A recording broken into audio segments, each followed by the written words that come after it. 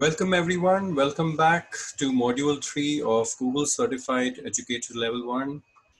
As I have been seeing in my sessions, uh, I have divided the apps in different modules and today we are going to cover up point two in module three, that is calendar.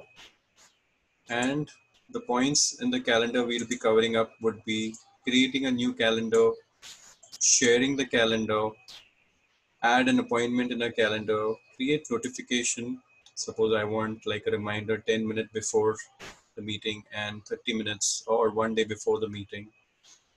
And also adding attachments to the calendar for meeting. Uh, sometimes you need to have an agenda. So you could actually add the agenda directly to the calendar for the meeting. So let's see how it's done. You will click on the link. You'll go on calendar.google.com now, as soon as uh, you go on calendar.google.com, it opens up the calendar page with all the existing calendars available with you.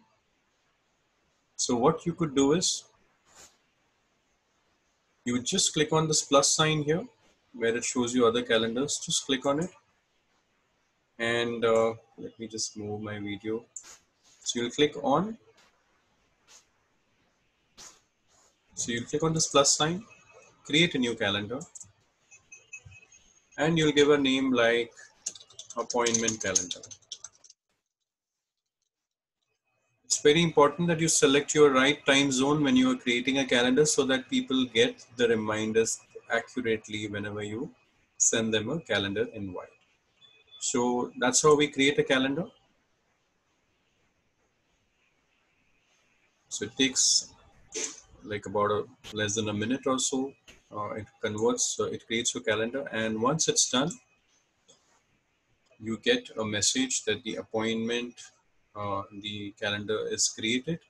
So either you can, so you go back to that page and you can see uh, that calendar is selected here. So what you could do is if you click on these three dots here,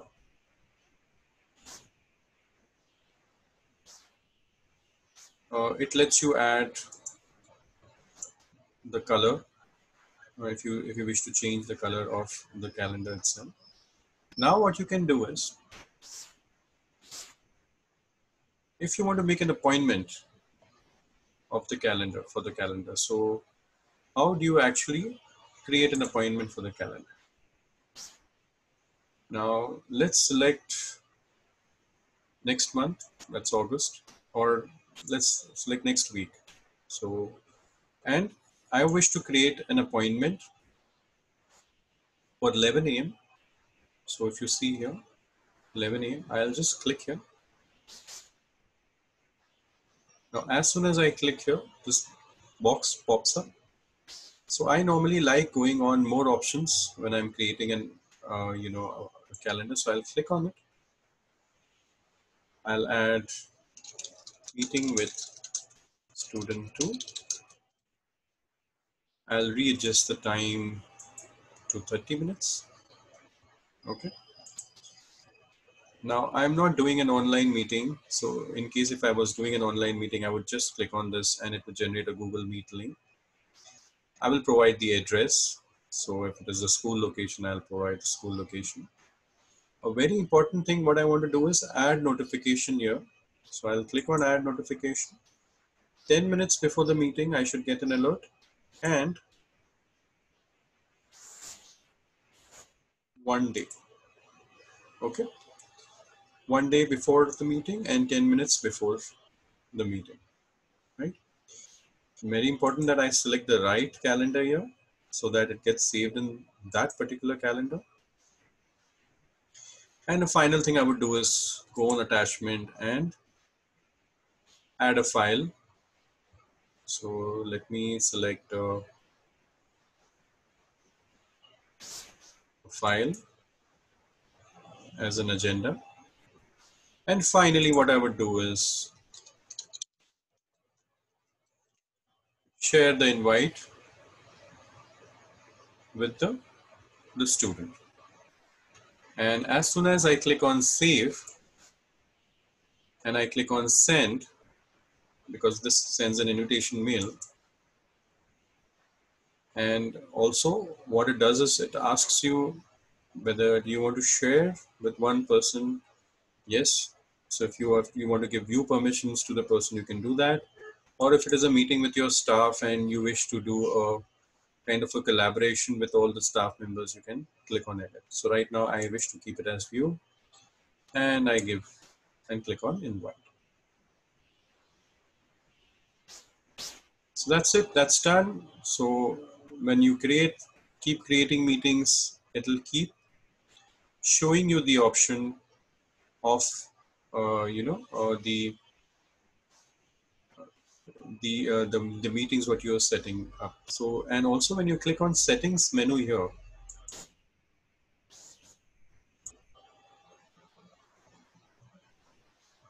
it goes uh, you know further wherein uh, lets you change the language and regions uh, if you want to add different times, uh, you want to show weekends, uh, declined events, if you want to put in working hours so that there is some kind of an appointment calendar you wish to create sometimes, even that can be done. And uh, the best part is the settings can be arranged separately for different calendar as and when required at your end. So I really like this. Uh, it's a it's a very uh, good option uh, to use with your you know staff so finally what you'll do is suppose the same calendar you want to share amongst two three people now suppose you have three four teachers who work on the same grade and you want to keep, create a common calendar like a course calendar or an appointment calendar so you could just click on those three dots click on settings and sharings